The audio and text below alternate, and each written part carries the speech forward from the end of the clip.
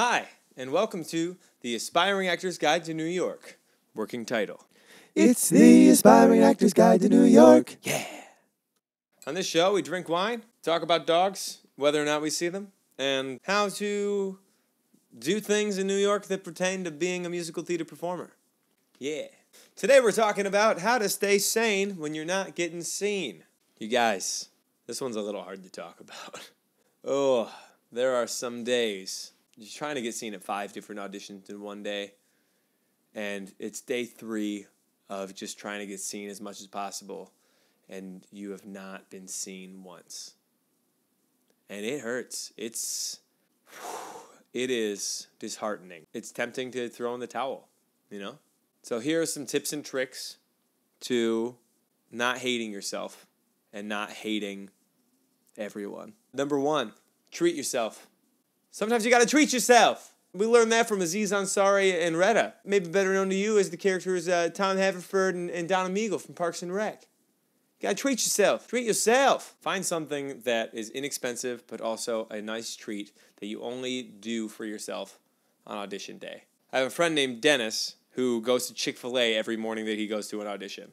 He doesn't audition every day of the week. He uh, only goes to the auditions that really like hit home to him. Treat yourself. Treat yourself. Treat yourself. Uh, point number two keep busy in the holding room. You will go insane if you are just sitting there in the holding room, twiddling your thumbs, waiting for your name to be called. If you can find a survival job that you do from the computer and you do on your own schedule, then see if you can't work while you're in the holding room. Two birds with one stone. Make some money while you're trying to make your dreams come true.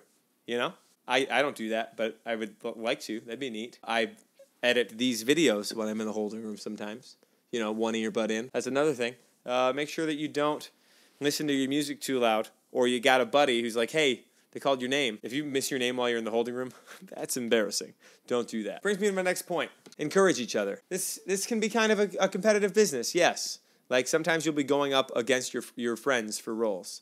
But try to encourage each other. Be find the excitement when they book the role over you and vice versa. Be supportive of one another.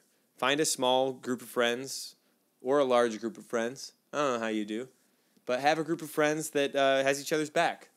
Uh, is going to give you a text if they call your name in the holding room, which is going to be discouraging. You know, you're going to be kicking yourself because you missed your name, but then you know, hey, maybe I have time to go sign up. Or, hey, maybe I don't have to go back there because they already called my name and I'm not going to make it back in time to be seen today. There's no need to be petty and to be mean. Like, be a decent human being and encourage your fellow performers. You guys all want the same thing. Just because there's a limited amount of roles in the world doesn't mean that you can't be kind to one another. So be kind. Rewind. That's not relevant anymore. Rewinding isn't really a thing.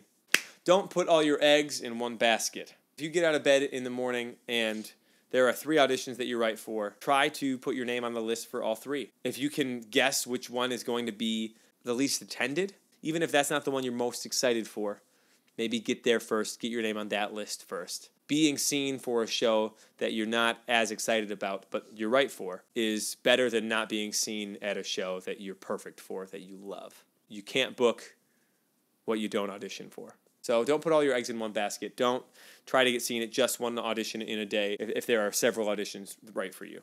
Building off that, never get too excited about an audition that you don't have an appointment for. This is so hard. It's so hard. It's like you're like, ooh, Come From Away's having an audition. Yes, I want to be on Broadway. I'm going.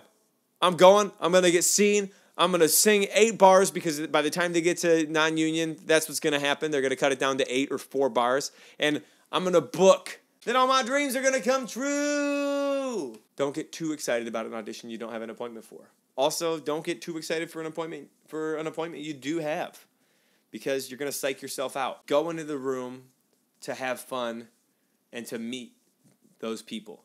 Um, don't think about the pressure of like my initial appointment oh my gosh, if I book this, then I can quit my job. It's it's not going to help you. It's going to scare you from doing your best work. That one I can speak to from experience. Definitely done that move before. Be excited to be in the room. Be excited right now for what you're doing without getting too excited about what's co- what could happen down the road because you don't know you don't know what's going to come down the road. You don't you don't know what's going to happen. You don't know. Live in the now, bruh, bruv, brother. Yay. Yes. Talking about do- don't get too excited. On the other end of the spectrum, if your feelings are a spectrum, don't get too excited over here. Don't beat yourself up too much when you tank in the room because it's to happen. There's no reason to be like, oh, throwing in the towel. That casting director is never to see me again. And they're to tell their friends that I've suck. And, and I, I do suck because I did suck in that moment.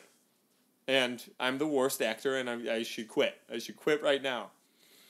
I have had that moment before. Allie Beans, if you're watching this, I'm sorry. I tanked. I tanked that Priscilla audition for Norwegian Cruise Line. Oh man, I bombed. I misunderstood the email. I uh, came in without preparing anything from the packet because I'm an idiot, and I was awful. I looked like I had never been in an audition room before. That was probably my hundredth audition in New York. Tangent. Probably gonna edit that out. So write in the comments below if you have any questions or uh, if you think this video sucked. Uh, you know, just berate me in the comment section. Tell me that my hair looks dumb. Because I can take it. I can't. Please don't do that. It's going to kill me. Check out my other videos if you're interested. We, we like to have a good time on this channel, so uh, hopefully, if you enjoy this one, you, you'll like these guys. If you like this channel, subscribe. I'll be releasing new videos just like this one on different topics every Thursday at 3 o'clock. They'll exist on the internet forever, so that's not daunting. Woo! Thanks for coming out. See you in the trenches. Chase your dreams.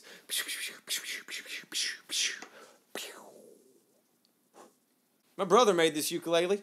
He made it with his own hands.